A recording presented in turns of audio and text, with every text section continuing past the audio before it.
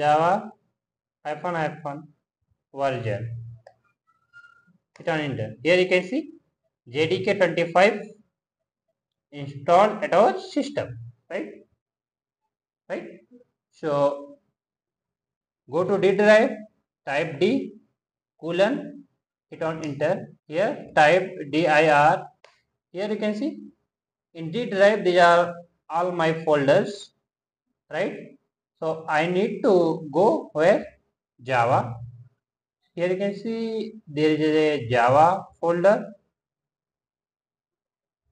This one. So i need to go that. So how i can change directory? So type cd go to java. Right? Here type dir. Here you can see inside java folder these are folders created. So so go to learn java hit on enter. Now type dir. Here you can see a dot java. So how to compile a java file? So type javac and class name a dot java.